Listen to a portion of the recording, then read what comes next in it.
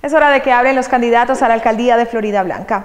Cámara Directa decidió que su aparición se haga de acuerdo a su ubicación en el tarjetón para garantizar la transparencia del proceso. Igualmente a cada uno se le designarán 45 segundos por respuesta con el fin de obtener propuestas concretas y garantizar la equidad en su participación. Así que, candidatos y candidata, ¿cuál es la propuesta para los empresarios?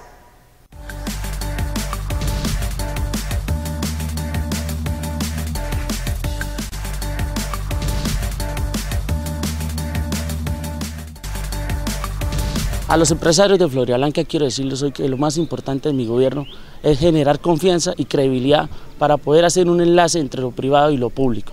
Y a la vez vamos a fortalecer las dos zonas francas, que es la zona franca de la salud y la zona franca industrial. Y también vamos a implementar el plan canguro para que el microempresario tenga más oportunidades y tenga incentivos tributarios y crédito fácil y puedan desarrollar sus mercados a nivel nacional e internacional.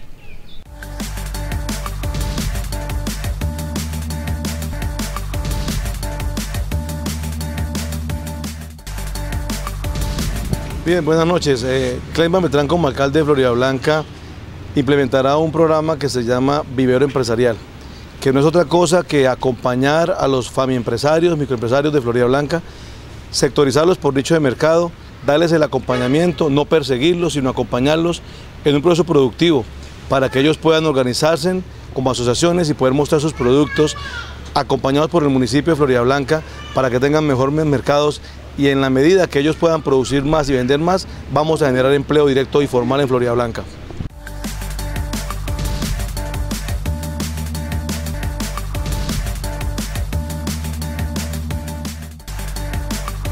Florida Blanca tiene una gran formación microempresarial.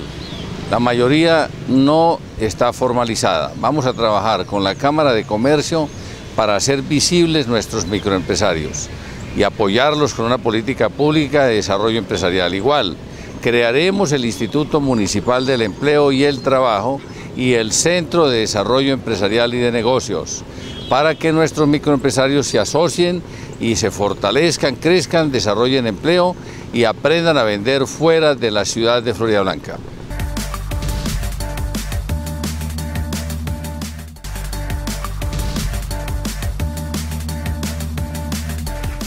Bueno, pero para todos los empresarios es decirles que aquí van a tener a una administradora que les va a brindar toda la confianza, que se van a adelantar todos los procesos con la transparencia más grande, que tenemos un sector de la familia empresa que hoy no están formalizados y que necesitamos convocarlos, motivarlos para que se formalicen y de esta manera brindarles las herramientas necesarias.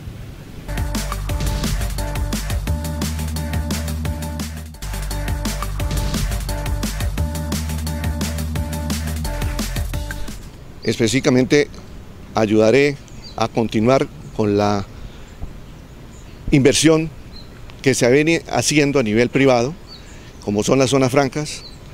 Eh, invitaré a todos los empresarios del área metropolitana a que inviertan en Florida, que lo que ellos inviertan, que lo que ellos eh, traigan a Florida Blanca, lo vamos a invertir en Florida Blanca, no lo vamos a llevar ni lo vamos a, saquear como ha sido saqueada, demolida Florida Blanca.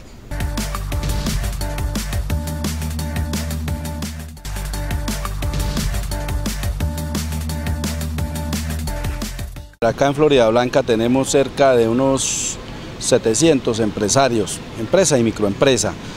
La propuesta es agremiarlos para que ellos a través de una persona jurídica estén unidos y puedan defenderse de cualquier incidencia que pueda tener el comercio, el mercado, los precios y también de esta forma poder promover y promocionar sus productos a nivel nacional e internacional. Es mucho más fácil a nivel de una agremiación y que reciban el apoyo de la Secretaría de Desarrollo de la Administración Municipal.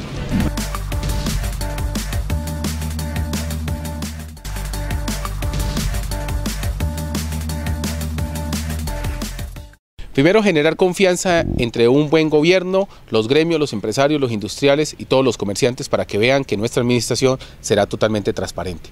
Asimismo, fortaleceremos el tema de la zona franca y la zona industrial para el municipio de Florida Blanca, en donde le demos incentivos a los industriales y a los empresarios que crean en el municipio, que esto nos generará mayores oportunidades, mayores ingresos y mayor prosperidad para Florida Blanca.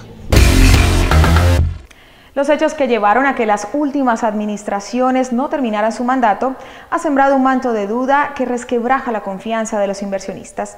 Reconstruir esa confianza y garantizar la lucha contra la corrupción es para los empresarios de Florida Blanca una obligación del próximo alcalde. ¿Cómo piensan lograrlo ustedes, candidatos?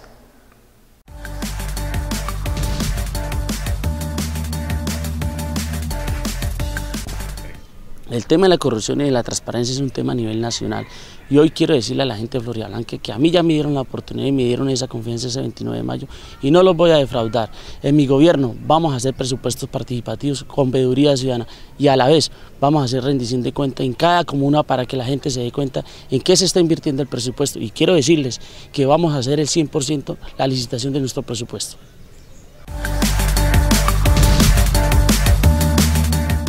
Bien, yo quiero recordarle a los ciudadanos que la corrupción inicia desde el momento del debate electoral.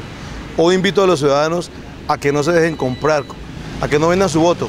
En mi gobierno erradicaremos de manera radical la corrupción. Combatiremos a aquellos que quieren efectuar corrupción en Florida Blanca.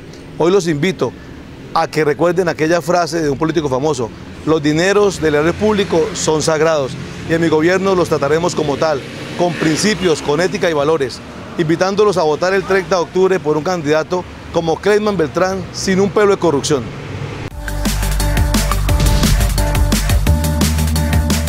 Primero, mi trayectoria me concede autoridad moral.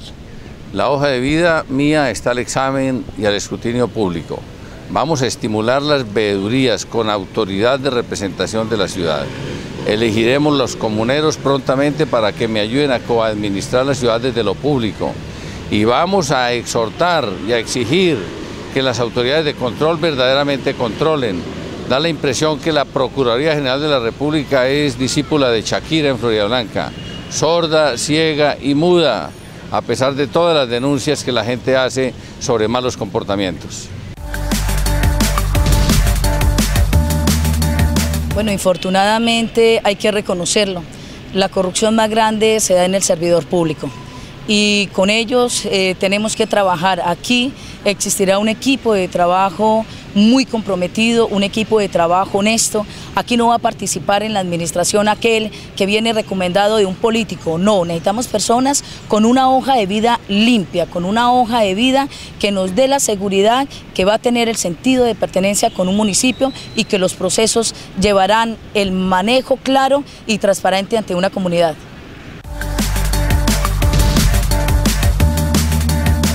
Definitivamente eh, el trabajo en comunidad, el trabajo eh, coadministrativo con la comunidad, con la academia, con los gremios que nos permitan eh, lograr un, en conjunto poder sacar a Florida Blanca de la cloaca en que se encuentra en relación de manejo de impuestos y el manejo administrativo.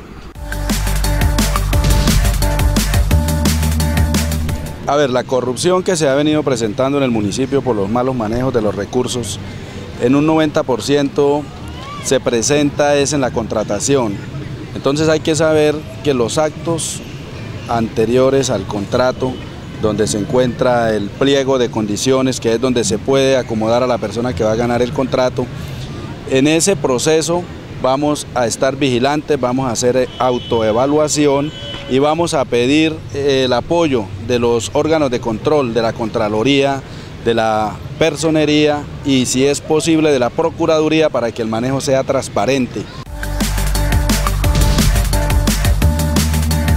Tenemos un pacto social contra la corrupción, un pacto donde lleva implícito veedurías eficientes, presupuesto participativo, rendición de cuentas, un diagnóstico general de la situación del municipio de Florida Blanca y mano dura contra los corruptos.